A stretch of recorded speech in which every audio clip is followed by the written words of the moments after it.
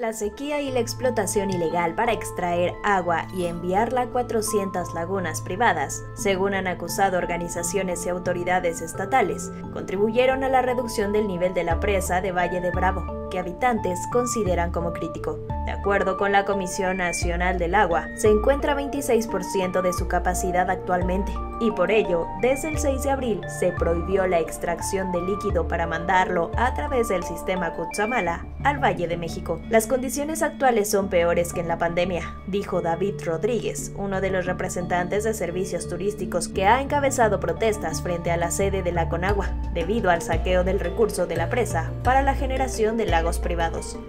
Mira, Valle de Bravo tú lo conoces y Valle de Bravo depende, directa o indirectamente depende del turismo. Si el turismo no viene, vamos a empezar a tener, eh, vamos, la economía va a empezar a, irse un poco abajo, vamos va a haber recorte de personal, va a haber gente que ya no se le va a poder dar trabajo, o muchos ya no vamos a tener trabajo por la misma situación, porque pues si no hay turismo, ¿para qué quieres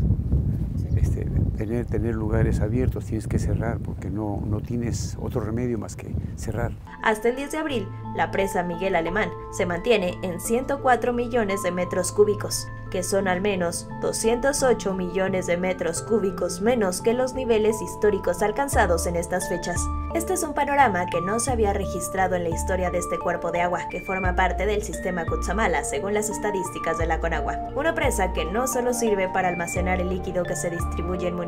mexiquenses y la Ciudad de México, sino que da vida a un pueblo entero, incluso una región, señaló Oscar García Garduño, mesero en la zona del muelle.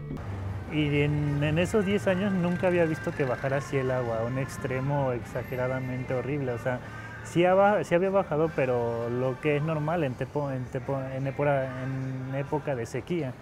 pero así como en esta, como ahorita, nunca había bajado. Los habitantes atribuyen esta devastación en parte a la inacción de las autoridades federales y estatales, que en años pasados no atendieron las denuncias sobre la formación de lagos privados detectados desde hace más de seis años. Acceder a las presas privadas que han extraído el agua del embalse es una tarea imposible, coincidieron representantes de organizaciones civiles en defensa del medio ambiente y autoridades estatales. Por ello, la Comisión de el Agua del Estado de México voló drones para identificar la presencia de dichos lagos y sus dimensiones. Fue así como detectaron la existencia de por lo menos 400 que fueron ilegalmente aperturados y para frenarlo han emprendido una serie de acciones en conjunto con la Conagua y la Secretaría de Agua Estatal. Secretario del Agua, Pedro Moctezuma, ha señalado que las presas privadas en Valle de Bravo han crecido como hongos y como parte de la estrategia conjunta entre los dos órdenes de gobierno, se realizó un diagnóstico. A la par, a través de la Fiscalía para Delitos Ambientales e Hídricos, se realiza el análisis de dichos cuerpos de agua que han intervenido para frenar su crecimiento pues si bien en algunos casos los dueños se han acercado para ofrecer vaciar estos cuerpos de agua y que escurra el recurso a la presa Miguel Alemán, en otros emprenderán denuncias. Y hasta el momento sabemos que siguen construyendo todavía más, más bordos, más, les llaman presas, son pequeños, aparentemente pequeños bordos, pero los manejan como si fueran para, para uso agrícola, cuando ya sabemos que pues, bueno, esa gente en realidad lo maneja para pues, sus grandes jardines ¿no? y tener sus propios lugares donde esquiar para ya no bajar al lago. El problema no acaba con la extracción ilegal, sino en las descargas de aguas negras, la tala y los incendios que merman los bosques de los que escurre el agua y más allá, apuntó David Rodríguez.